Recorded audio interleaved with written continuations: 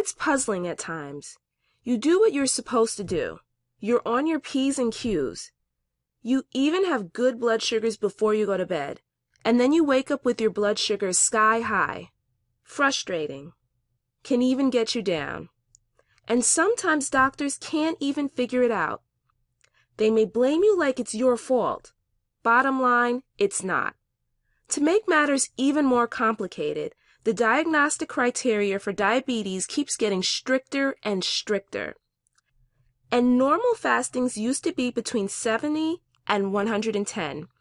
Now they are 70 to 100, with 100 to 125 being pre-diabetic abnormal fasting ranges. And I wouldn't be surprised if the ADA lowers it even more. And since the pharma companies influence the ADA, could you imagine how many people the pharma companies could get to take their drugs if they lowered the normal fasting even more to let's say 90 to 95 milligrams per deciliter as the cutoff and the diabetes diagnosis criteria to a fasting above 110? I think you know where I'm going here. I digress. But what's really going on with fasting blood sugar levels is this. Type 2 diabetes can cause your body to overshoot during the late night and morning hours. Out of control fastings could mean one of two things the dawn phenomenon or the Somogyi effect. Now, both of these are pretty scientific terms, but I'll break them down for you. Dawn phenomenon is due more to insulin resistance and your liver producing extra sugar and issues with insulin production or resistance can cause liver problems here and cause your blood sugar to go up in the morning hours.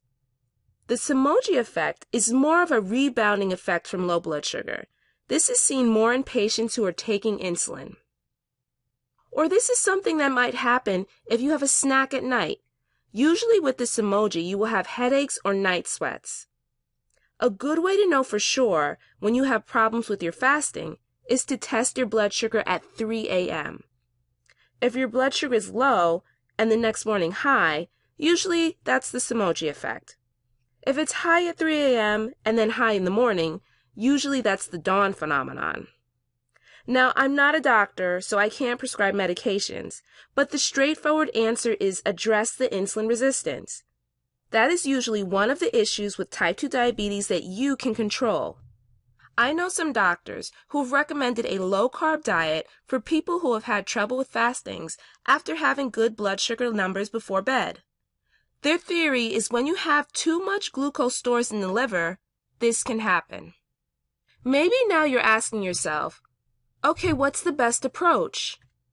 You can start tonight by setting your alarm clock and checking your blood sugar at 3 a.m., also to see where you're at. I'm not a big fan of the low carb approach, but you could also try to reduce your carbs as some of the doctors that I work with have advised their patients. Prior to using any of this advice, please consult with your doctor. Thanks for watching.